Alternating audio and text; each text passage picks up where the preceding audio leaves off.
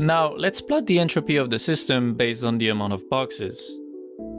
We realize that when the amount of boxes is squared, the entropy only doubles.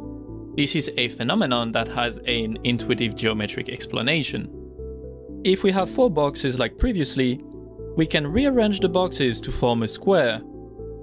The total entropy of the system is log 4, which in base 2 gives an entropy of 2 bits. We solve the problem with the optimal method by asking two binary questions, which evenly split the possibilities. Now let's square the system. We now have 16 boxes.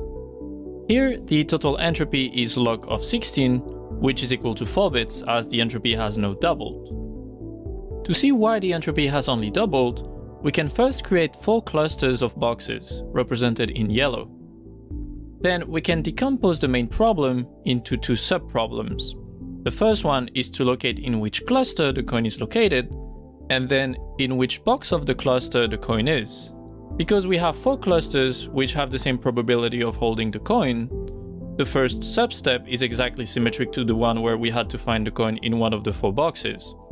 We therefore solve this problem the exact same way, taking only two binary questions.